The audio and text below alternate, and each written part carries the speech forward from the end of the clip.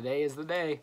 Um, not been looking forward to it, but it's part of how our country runs. And um, so this video is just to wish my the best of luck to President Joe Biden. Um, not the one I voted for, not the one I would have picked, but democracy decided that that is how it's going to go. So I want to wish the best of luck to Joe, and um, I genuinely mean it when I say that I hope he's successful. I hope that um, his term, his time in office, I hope he gets a lot done, um, a lot of good things done, you know. I hope that he gets a lot of things done that uh, benefit the American people and benefit us as a country as a whole. Um, because you know, with his success comes my success, comes my my fellow American success. So best of luck, President Biden. Um, you know, I know it is scary, um, the thought of of Joe being in office and as well as you know them controlling the House and the Senate, which I'm not thrilled about, but uh, I want to be optimistic and I want to say you know maybe with with the House, Senate, and presidency being owned by one by the Democratic Party, you know, a sole party, maybe this will open doors for things to get done. Um, I just hope those are good things. I hope those are things that benefit the American people. Um, so I'm going to try to be optimistic. Um, you know, I, I have my personal thoughts, but um, best of luck, President Biden. Um, and I, you know, I still wear it proudly.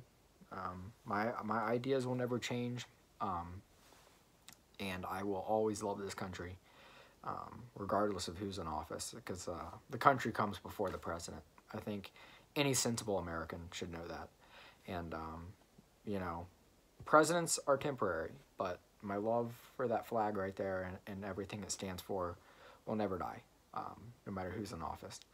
And um, I just pray that God gives Biden the wisdom um, in the event Kamala takes over, um, in the event that you know something happens to Joe or or for whatever reason Kamala is our president, I wish her the best of luck.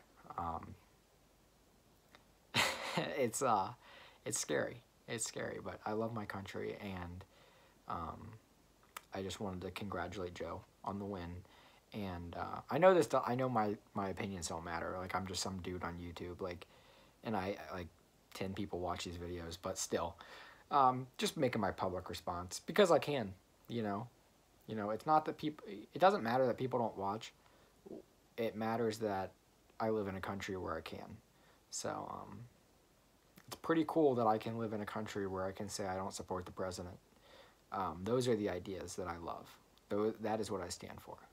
Um, regardless of who it is you support or don't support, uh, it's so cool that we live in a country where where you have the right to, to say so. And um, that's why I upload these videos. Not because I want people to watch, because I know they won't, but because I just love the idea of exercising that I can say it. That I can say that I disagree with Joe Biden, that I don't like Joe Biden.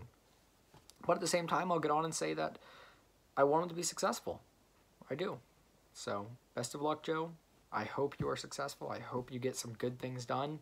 Um, I'll be rooting for you um, because I, I root for my country. So I'll root for Joe as well. And um, best of luck, and uh, we'll see what the future brings.